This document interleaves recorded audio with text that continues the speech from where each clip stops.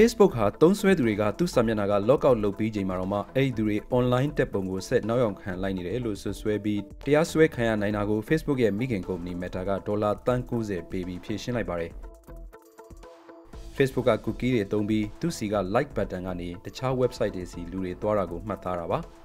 ။ Meta ကတော့သူတို့အမှားမလုပ်ဘူးလို့ဆိုပြီးတရားရင်ဆိုင်ရမယ့်အခြေအနေကုန်ကြမဲ့ငွေကြေးတွေကိုရှောင်ကျင်လို့အခုလိုဖြည့်ရှင်းတာလို့ပြောပါတယ်။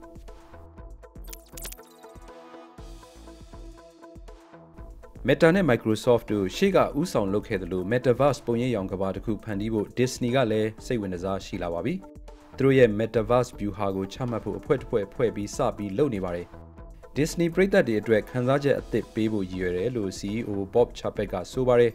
။ဇလန်းနေတင်ဆက်ရမှာ Metaverse ဟာအနာဂတ်မှာအဓိကနေပယ်ဖြစ်လာလိမ့်မယ်လို့သူကပြောပါတယ်။ ပုဂ္ဂလိကအစီအစဉ်နဲ့အာကာသသွားကြတဲ့ခရီးစဉ်တွေဟာအဆန်းတော့မဟုတ်တော့ပါဘူးဒါပေမဲ့အခုတော့ American billionaire Jared Isaacman က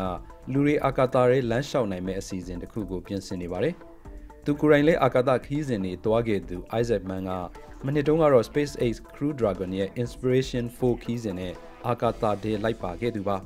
အခုသူ့အစီအစဉ်ကအာကာသဝစ်စုံအသစ်တွေကိုစမ်းသပ်ဖို့နဲ့ရတဲ့ရန်ပုံငွေတွေကိုအမေရိကန်ကကလေးစေးရုံတွေကိုထောက်ပံ့ဖို့ဖြစ်တယ်လို့သိရပါတယ်။ ကဲကိုယ်တိုင်ဘလောက်စိတ်ပင်ပန်းနေပြီဆိုတာသိကြရင်တော့ဒီလက်မှာဝတ်တဲ့ကိရိယာလေးကအချိန်နဲ့တပြေးညီပြောပြပေးနေမှာပါ American UCLA တက္ကသိုလ်ကပညာရှင်တွေစမ်းသပ်နေတဲ့ဒီကိရိယာလေးဟာကြည့်ရင် smart နာရီတစ်လုံးနဲ့တူပါတယ်သူကလူကိုကထွက်တဲ့ချွေးကိုအသုံးပြုပြီးစိတ်ဖိစီးမှုဖြစ်စေတဲ့ cortisol hormone level ကိုတိုင်းပါတယ်